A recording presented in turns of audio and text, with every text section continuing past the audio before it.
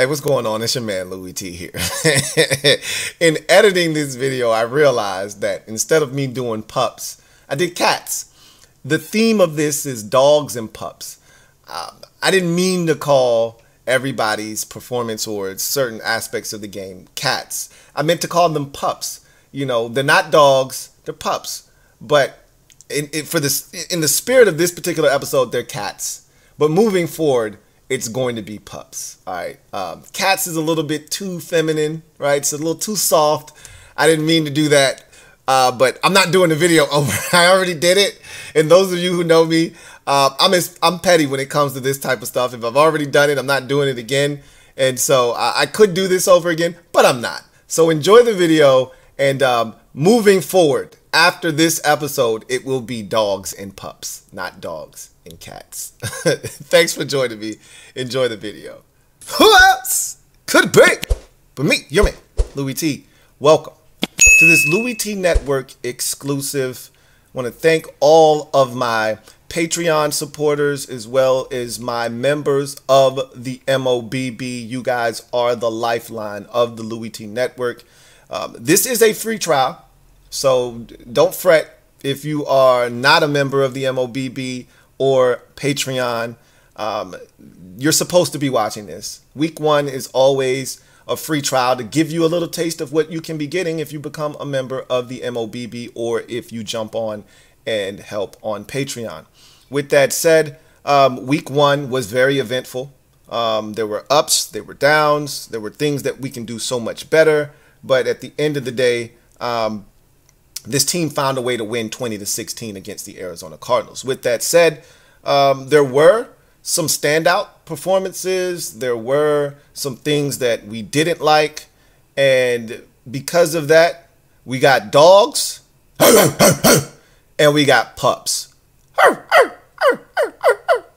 And so we're looking for dog performances every single week. We want the dogs to stand up and announce themselves, and we want the pups to stay in the back and um, not show themselves, right? We, we want dog performances on a weekly basis. And so, with that said, before we get to the, the players, the situations, the things that happened in this game that were dog like, um, let's get to some honorable mention first that didn't make either list, were kind of in the middle. Um, and so didn't make either list, but they do need to be mentioned, right? Let's start with Sam Howell, the quarterback. Um, I didn't think his performance was dog-like, and I didn't think he was a pup in this game either. He made just enough plays to stay off of the pup list, um, and he he didn't make enough plays or turned it over or made enough mistakes to to not be on the dog list, right? Um, th this was a solid, as I mentioned. This was a C performance, which puts you right smack dab in the middle where I have him. Um, and, and, so for me, um, he's going to be better. And this, it was the first start of his NFL career as the guy, second career overall start, you know, and so I expect better from him.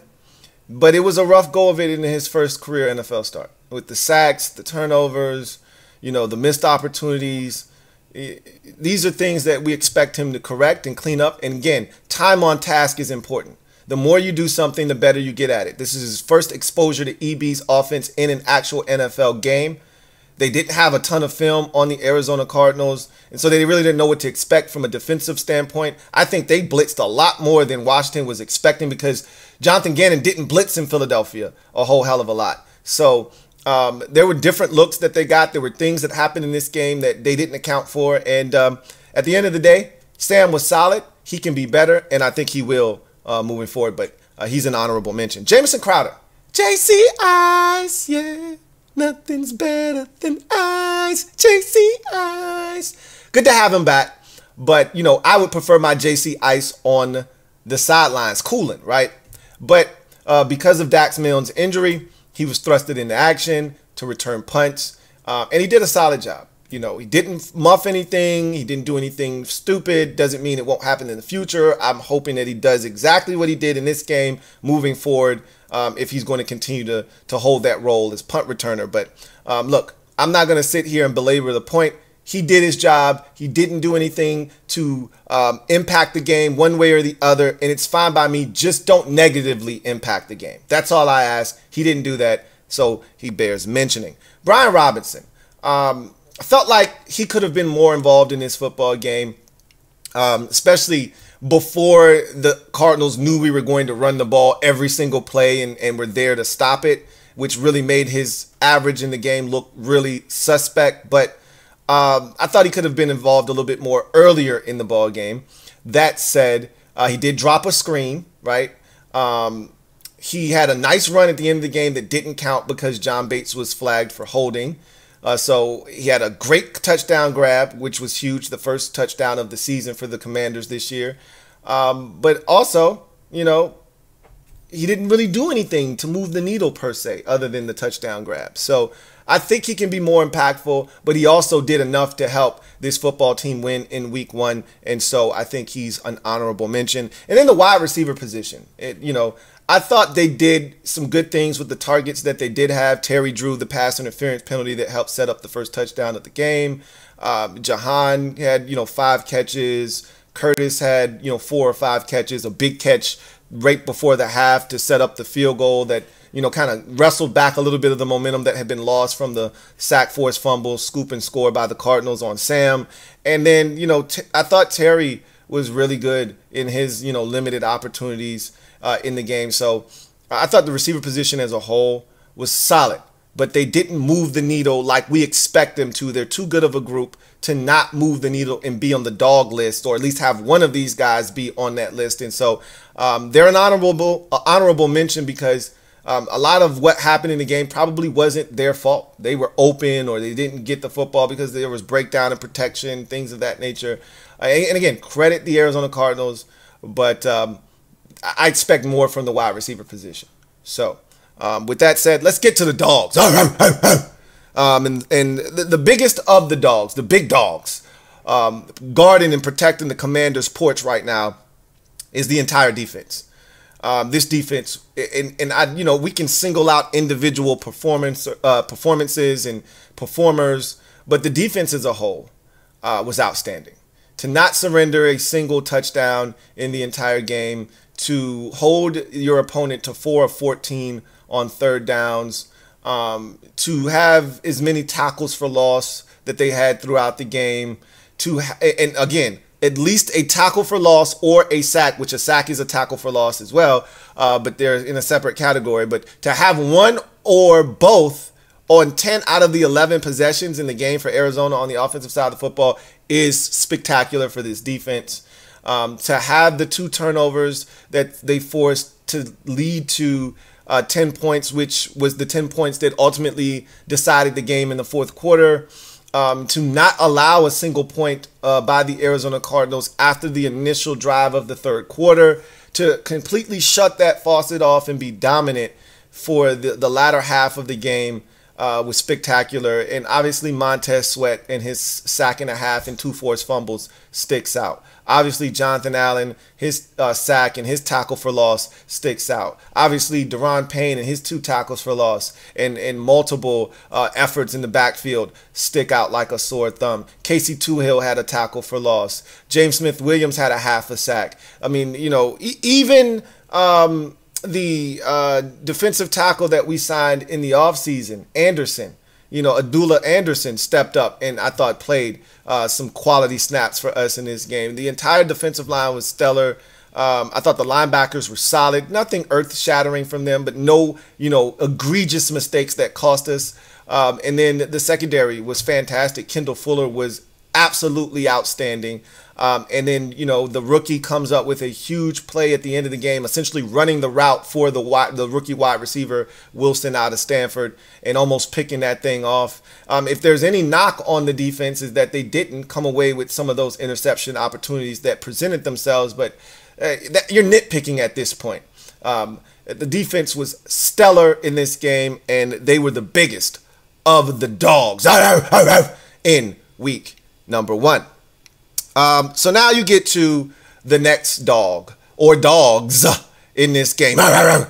And it's Tress Way, Joey Slye, and Jeremy Reaves. That that trio on special teams was outstanding in week number one. You start with Tress Way. Um, the punts, we know what he's capable of there in that regard. He had one punt that absolutely flipped the field position, and it was huge because at that time, the game was still in the balance. I think it was 17 to 16 at that point. We had just taken the lead.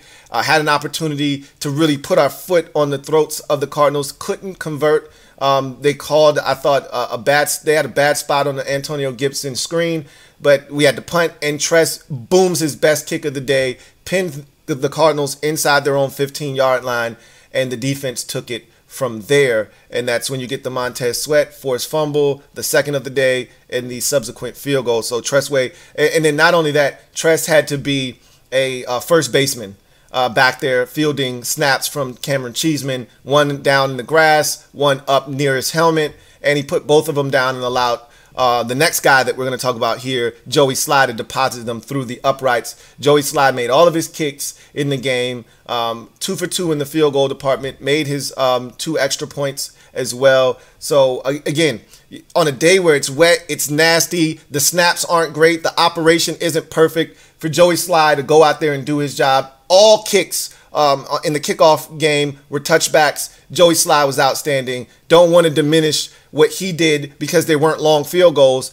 We know he can miss a 33 yarder. He did it last year several times because he missed a bunch of extra points. But he deposited all those field goals. He deposited all the extra points. He kicked the ball off well. Uh, on a day that it was wet, uh, on a day where the operation wasn't the cleanest, Joey Slye did his job. He's a Sly guy. Doo-doo. And finally, Jeremy Reaves, All Pro Revo, showed exactly why he's known as All Pro Revo. He was down on just about every single special teams tackle there was in this game, and he got the crowd amped. He was involved. I love his energy. It's infectious, and that's the kind of play we're going to need from him as a captain on this team moving forward. Um, and his, his, his story is being chronicled on ESPN, I believe, or NFL Network uh, tonight. So check that out. Support one of our own, and um, uh, get a load of his story and, and really see um, how Jeremy Reaves came to be in the league as a core member of the Washington Commanders. So that was another group there of dogs. and lastly, overcoming adversity i thought was was really big for us in this game and that was the last dog of this game um, there was a ton of adversity in this game. Obviously, I don't have to tell you that, you know. But um, I don't think there was any more adverse situation in the game for Washington than the fumble, scoop, and score by the Cardinals um, that put them up in this game 13 to 7 right before the half. Washington got the football, thought we were going to move it down the field and get into either field goal range or a touchdown like we had done in the two minute drill before the half against the Ravens and the Cardinals had other ideas. Sam, careless with the football, is hit, fumbles the ball, it's scooped up, scored by the Arizona Cardinals. And at that point, you're sitting there, your jaw is probably hitting the floor, and you're thinking, oh my God, this can't be. We're losing to the Arizona Cardinals at halftime, and I'm sick to my stomach. This is not how week one was supposed to go. And it's it could have easily turned into woe is me. Here we go again. Same old commanders, right? And Sam rallies the troops. They go down the field, throws a strike to uh, Curtis Samuel, who catches it, gets up the field, tackled out of bounds, gets you in the field goal range. I, I actually hated the conservative nature of the next snap, which was to run off clock and throw it out of bounds to kick the field goal. I would have liked to have seen one attempt to the end zone to one of your big targets, Cole Turner, Logan Thomas, somebody with a little bit of size, and just see see what you can do, right? Post up a smaller defender, throw it up on the top shelf, and see if they can get it. But they opted to throw it away. That is, it is what it is. Um, but that was a big play. I mean, it got us three points before the half, cut that deficit in half from six to three, and it wrestled back a little bit of the momentum, right? You felt a lot less of the sting of that turnover because of the field goal that they got before the half. And then obviously giving it right back to start the third quarter and, and, and having the Cardinals go down the field, get the field goal. Again, no more turnovers, but they didn't do anything necessarily to change the game. But When they had the opportunities after the defense made the plays, they took advantage of them and made plays there. Um, the, the interception in the first half could have given up a touchdown there. They didn't. They they bowed their backs or their necks, as Ron likes to say, and they only gave up a field goal. So um, this game could have been a lot worse, but we overcame adversity multiple times in this game. And that ultimately is what helped decide the outcome as Washington got it done 20 to 16. Um, that to me was a dog in week one. And it's going to need to be moving forward. So now let's get to the cats. Meow. Let's get to the things that we didn't like in week number one. And I, am going to start with the tight end position. So um, as a whole. I'm not going to single anybody out. I know everybody's killing Logan Thomas right now, and that's fine. But he wasn't the only culprit within this group. John Bates had two big time penalties. Again, I think both of them you could argue were bogus. One in particular, the OPI was garbage, but it is what it is. They called it what can you do? It killed the drive, right? Uh, so you got the two penalties on Bates. Um, you got the you know a couple of drops by Logan Thomas, who wasn't you know you know his best in this game.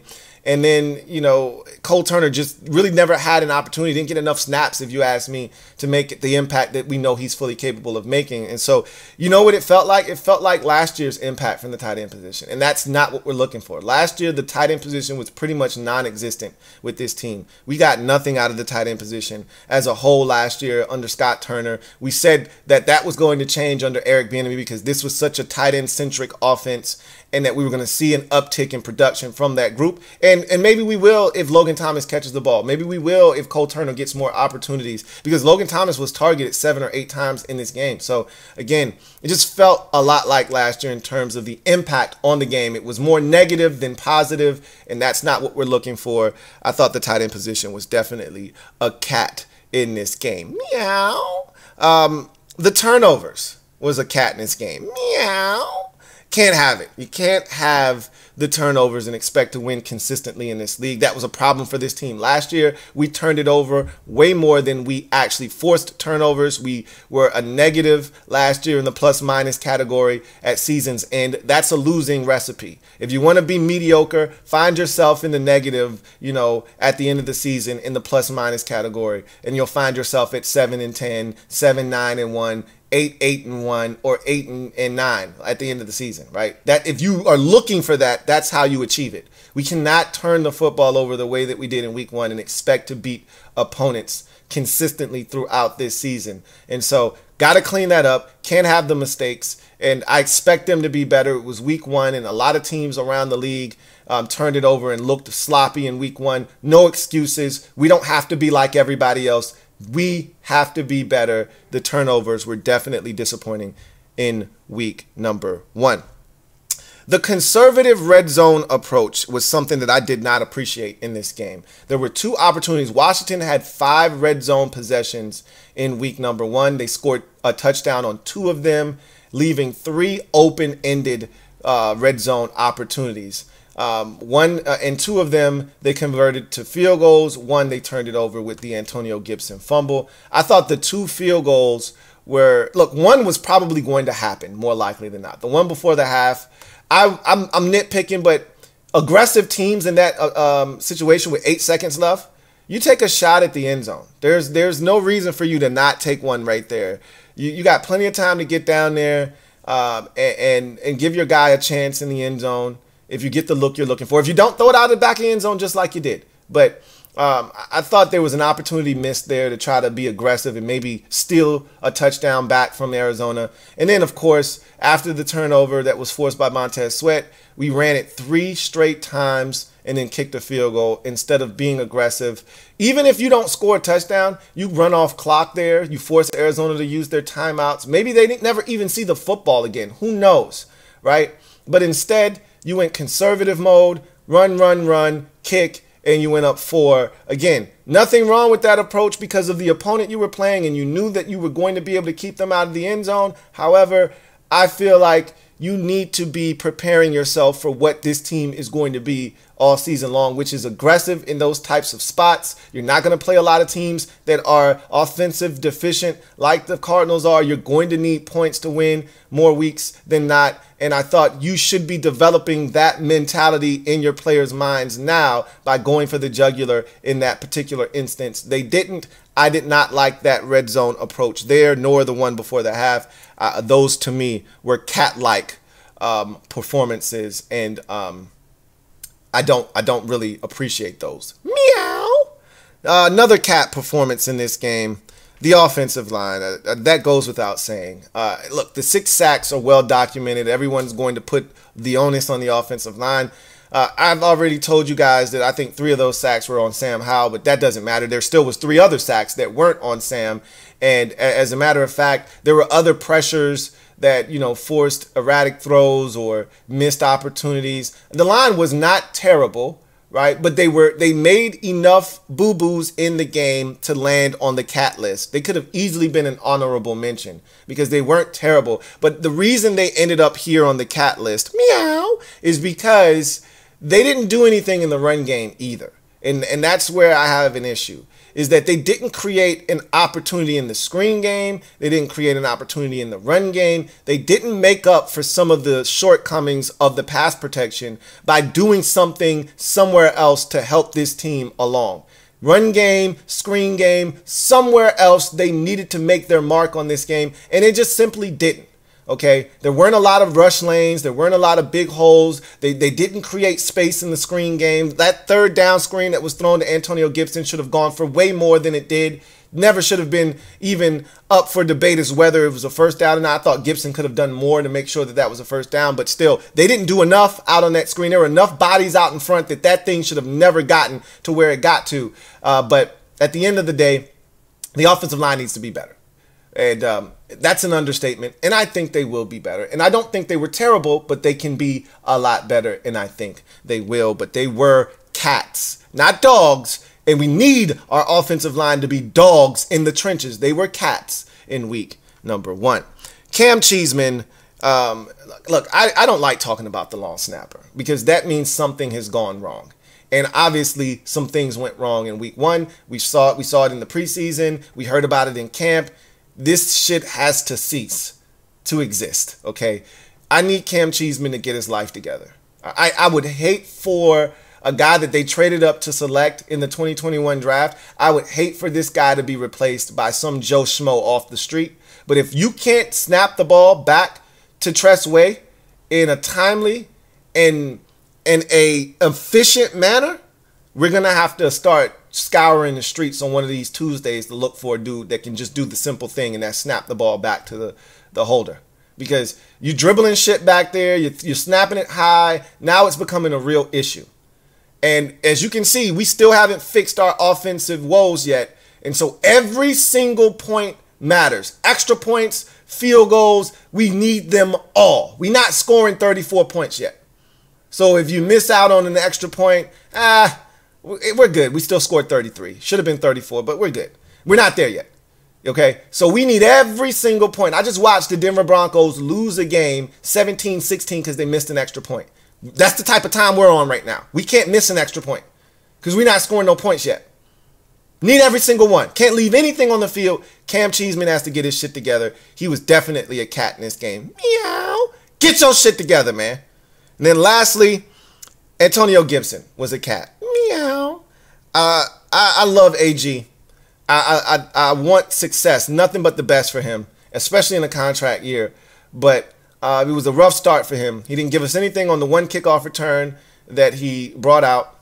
Obviously, a, a huge momentous, a momentous swing in the game was his fumble in the red zone that cost us a scoring opportunity when we really had a chance to maybe put a stranglehold on this game. Um, and, and so that's huge. Um, didn't get the first down on the screen. I, I, you got to get that first down, bro. And I thought he did, but it shouldn't even been up for interpretation. You should have gotten that. There were enough blockers out in front. There was enough space and opportunity. You can't get hit and fall straight down and, and end up with a spot that allows the referees to say that you were short. You got to get that first down, bro. Um, I thought he missed a big ass run lane on, on a on a play where I thought the offensive line blocked it up and he needed to cut it back to the left, and he just ran up in the pile and put his head down and got like next to nothing. Um, I, I don't think they utilized him properly in terms of you know getting him out in space, which we always hear Ron talk about every year, and then they get to the game and they don't do it. Uh, but with the opportunities that he received in this game, he didn't do enough with them. Period. Point blank. And so um, he was a cat in this game, and I'm gonna need him to be better. He's the only running back that we have that has explosiveness. He can't be a liability on the field. We need him to be better. Period. But he was a cat in week one. Meow. So that's going to do it for me, your man Louie Tee, here with dogs and cats. Meow. Week one edition versus the Arizona Cardinals. We'll do this every single week for the MOBB and those on Patreon. So if you're not a member of the MOBB or you're not on Patreon, what are you waiting for? Don't sit on the sideline. Get in the game. I appreciate each and every single one of you. As I mentioned, MOBB Patreon members, you are the lifeline of the Louie Tee Network. To you, I say salute. And until next time, y'all know what it is. Have a good one. Take care. Louie Tee.